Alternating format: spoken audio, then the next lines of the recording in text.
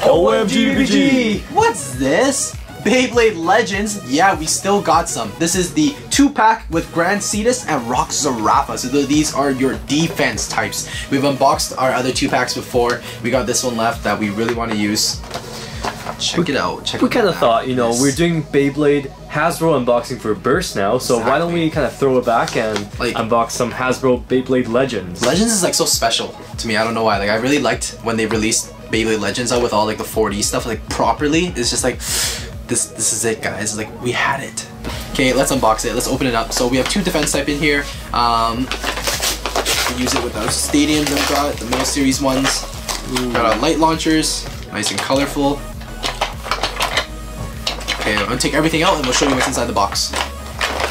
You guys probably can't find this in the store anymore, but did you guys own these Beyblades? Rock or Grand Cetus? Here are all our parts laid out.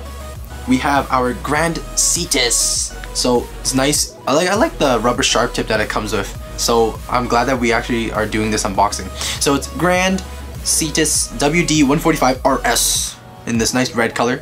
And then we have our Rock Zurafa and it comes with R145 WB wide ball. We got tons of wide balls already. So like when you launch it super quick with a rev up launcher, this thing can get super aggressive.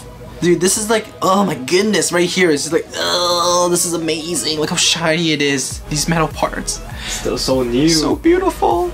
Oxidizing in five, four, three, two, one.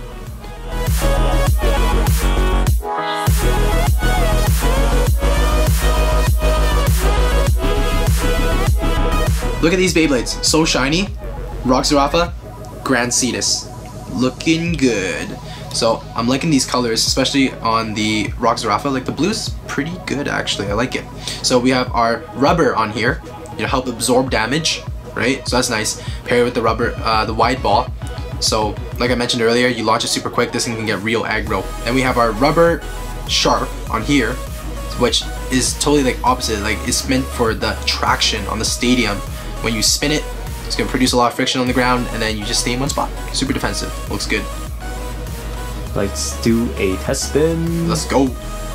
First up, we have Rock Oh, Zurafa. we're talking about three, two, one, go! Oh, shit. Next up, we have And then Grand our Cetus. Our Grand Cetus. Also defense type as well. This defense type starter pack.